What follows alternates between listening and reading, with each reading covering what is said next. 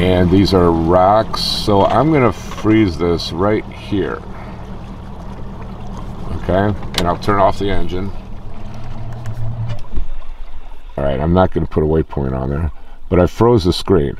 So now I go to my menu and I can adjust the sensitivity and the contrast and fine tune this. Now this is looking like I've got it fine tuned pretty good already but I'll just go through that process again. I'll keep cranking up the sensitivity and now it's washing out. That's not good. So now I'm going to back it off a little bit.